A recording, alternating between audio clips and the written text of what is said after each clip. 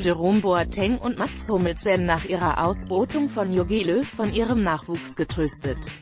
Boatengs Patenkind bringt die Situation auf den Punkt.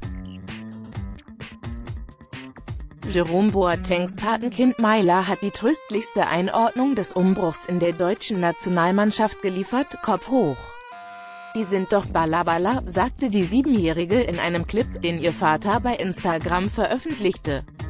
Der am Dienstag von Joachim Löw aussortierte 2014er Weltmeister kommentierte, Danke, dass du meinen Tag aufhältst, Meiler. Auch Hummels postete ein Foto mit Söhnchen Ludwig und schrieb dazu, auf im Unterer, Mats Hummels mit Söhnchen Ludwig Urheberrecht Instagram.com Schrägstrich Außenrist 1.5 Löw hatte am Dienstag in München den drei Bayern-Stars Boateng, Thomas Müller und Hummels mitgeteilt, dass er den Neuaufbau der Nationalmannschaft ohne sie plant.